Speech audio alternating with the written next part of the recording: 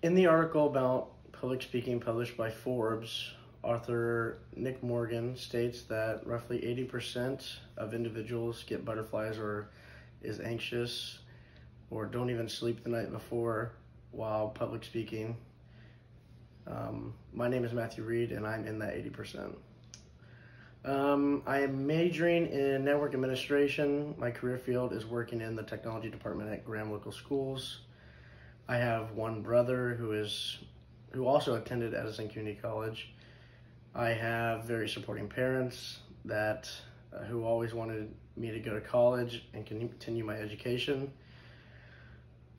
Um, the first one of my goals is to or continue my education in IT through my coursework at Edison. I hope to be able to gain some additional certifications. A, another goal of mine is to one day manage a tech department at a school department. Uh, my, uh, with my current occupation, some words that I would use to describe myself are empathetic, considerate, loving, witty, chill, uh, adaptable, resourceful, um, unassuming, overwhelmed, and blunt, straight to the point. One of my passions is helping others, fixing computers throughout the school district that I work at, and helping friends and family fix their cars or whatever they need. Another passion of mine is socializing with friends. I go kayaking.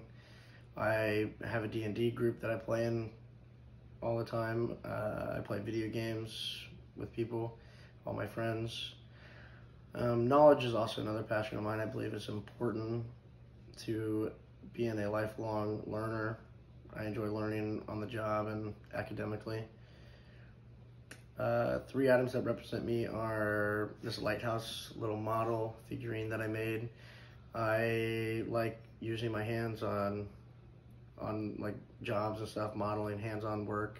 So I did that, and then uh, this gaming uh, controller. I play Xbox with my friends. It's a passion of mine. I usually play in my spare time if I have it. Uh, just socializing and stuff. And a planner I use for my schoolwork and working just to plan out my activities for the week.